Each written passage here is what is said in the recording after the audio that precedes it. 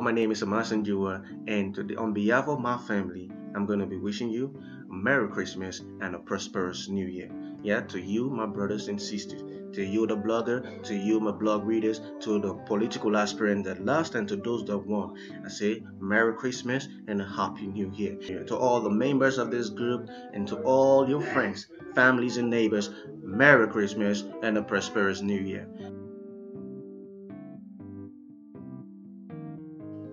Yeah, the message for today is remember Christ is the reason for the season. Definitely we'll be sharing as a neighbor. We have to share. Share with your neighbor. Share your rice, share your beans, share your chicken, share whatever you have with your neighbors.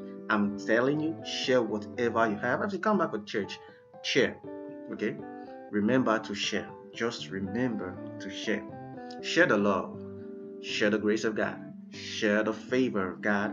Share whatever you have and remember to visit those the needy, the those in the charity home, orphanage home, the the poor. The, you have to share. Today is the day of sharing. Likewise tomorrow if you cannot do it today. So